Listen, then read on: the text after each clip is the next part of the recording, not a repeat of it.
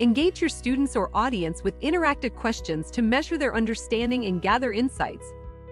In this tutorial, we'll show you how to create a quiz and add questions to it.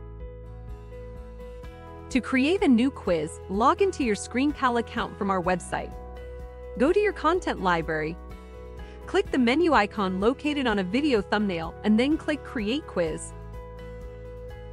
You also have the option to create a quiz from the Interaction tab in Video Details, or from the Quizzes page, which you can get to by clicking Quizzes on the left navigation bar. By default, the quiz title is the same as your video's title. You can change it if needed. After creating your quiz, you'll land on the Edit Quiz tab. From here, add and edit your quiz questions. To add your first question, click on the video timeline where you want your question to appear, then click the plus button. The Add Question menu will be displayed. In the drop-down list, you can select a question type to add to your quiz. These include multiple choice, true-false, short answer, poll, or rating questions. You can mix these question types within a quiz. Let's start with a multiple choice question.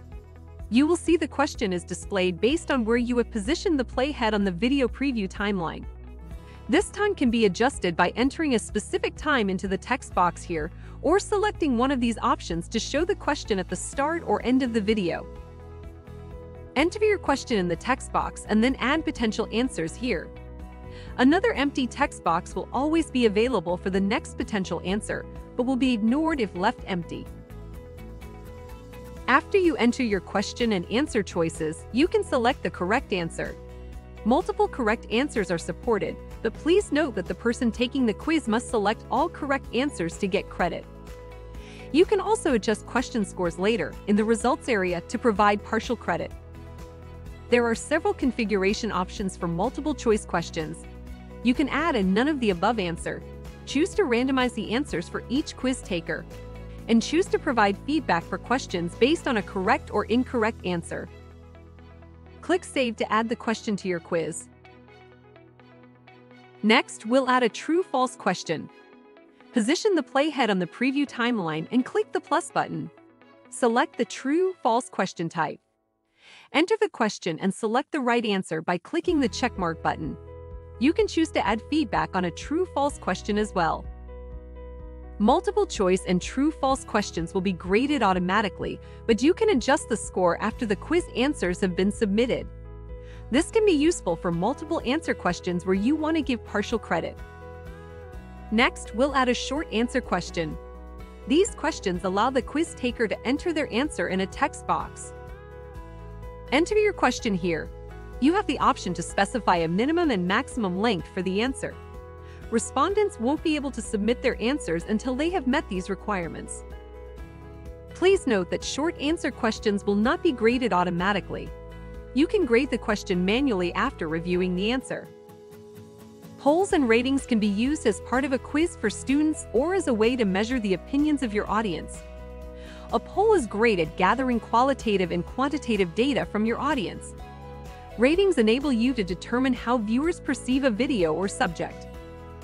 For a poll, enter your question and then a list of possible answers. Only one answer can be selected by the respondent. Poll question options include adding other as an answer, allowing the viewer to skip the poll question, and randomizing the order of answers presented.